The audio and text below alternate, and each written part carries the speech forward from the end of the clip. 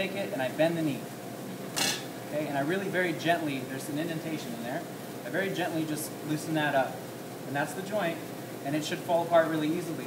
Okay, I'm not going to go all the way through because then I'm going to slice up my hand. But now I know where it is. So I can just cut right through that joint. It should go really easily.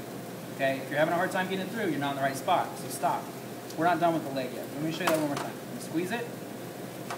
Okay. Loosen it up so I know where it is. Put it down on my board. It should go right through. That's a good trick. Okay. Now, for our thigh, all we got to do is we got to make sure that we trim off any excess fat. That was where that fat cap was. If you trimmed it off before you started, good for you. Okay, it won't be there. So what we want is a nice trimmed thigh. Okay, that we can use as a presentation for a dish.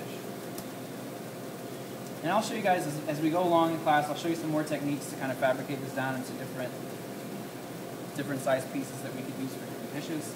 But for right now, we just want you to cut it into eight pieces. See that big chunk of fat that was hanging off of there? Okay. Fat hanging off the end. That yellow looking waxy stuff, that's fat. What kind of fat do chickens have? Subcutaneous fat. Wonderful. Okay. Now, this is where it gets tricky for your ruler. Right? So now we have eight pieces. Two wings, two legs, two thighs, two breasts. Eight pieces. But it gets tricky for your rubric because on your midterm you have to make this into a lollipop. Okay? Outstanding. It's not the kind of lollipop you want. But what we want, okay, what we want to do is we want to go through this right here. See this right here? We want to cut that off a little bit. Nice and flat because later on it's going to stand up just like that on the plate.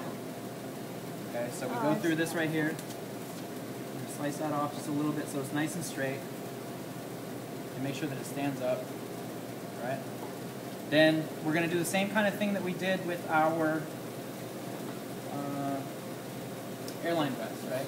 We're going to go through here and we're going to go around this right, real gently. Because what we don't want to do is we don't want to cut through those tendons this time. We want to leave them on there and I'll show you why. Okay, so what we're going to do is we're going to go around real gently. Right? We're going to try to leave those tendons attached.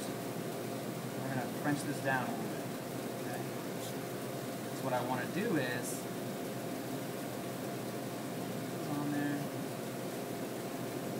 The skin off. Right, just along, along that edge, right? Just cut through the skin. Okay, and then you'll take your chef's knife. And cut that off. Okay? Say goodbye to it. Let's talk about it. Now, this is where it gets tricky because what we have to do is we have to French this down, but all of these tendons need to be trimmed away.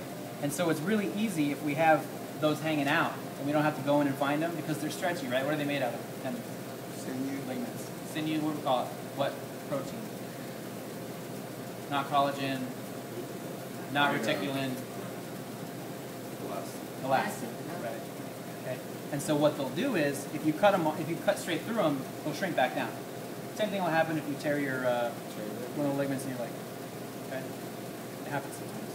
So if your hands are really nice and dry, you can go through and you can French this down as you hold on to them, and then you can just trim those out really easily. Okay. Keep your fingers out of the way. Those we don't need for anything. They can go in the trash can. Right, but what we want to do, the idea is, we're going to French this, side scrape, and it's going to look like, in the end, I had a little bit of skin still attached. You see that? Just a little tiniest bit. Keep my finger out of the way. Slide it under there.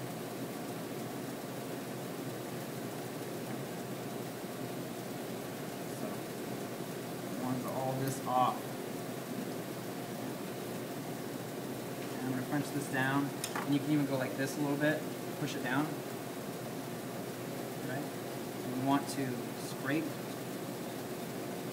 Scrape along there.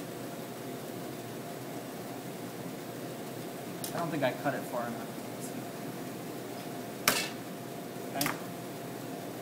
That's fine. Okay? And then what we want to do is we want to have this really nice, clean little chicken lollipop. Okay? So this little bone right there. Snap that off.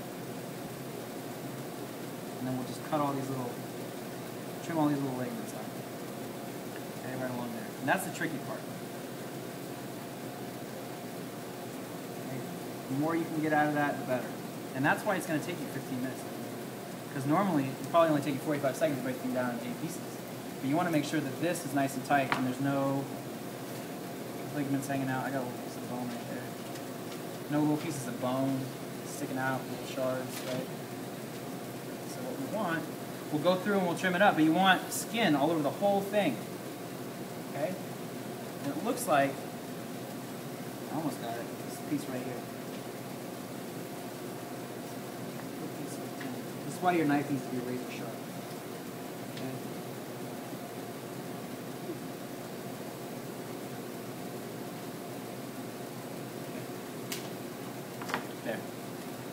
Now we have it. Okay, and so when you go to plate that for fine dining presentation, which one looks better? I don't know if you're if you're a huge fan of like you know KFC, maybe this one is. But you know if you're trying to get a nice presentation out of this, now I can serve the leg in a fine dining restaurant. Otherwise, people aren't gonna people aren't. You serve this to somebody and they're charging hundred dollars a plate. They're not gonna eat that. This though, I'm glad I paid hundred dollars for that place, right? That's the idea, ladies and gentlemen. Okay, so let's do it one more time. Let's go over there real quick.